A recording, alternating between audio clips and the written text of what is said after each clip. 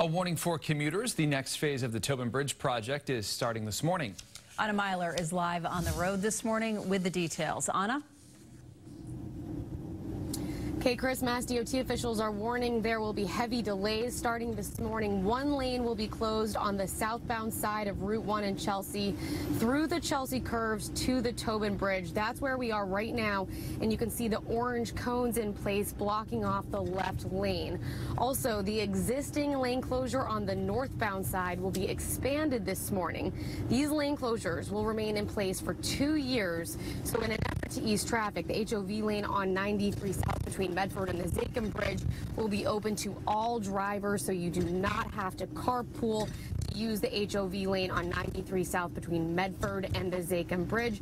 Officials are also suggesting that people take advantage of the extra blue line trains, use the silver line bus service or the commuter rail, and if you have the option, even change your schedule. We'll send it back to you, Chris and Kate.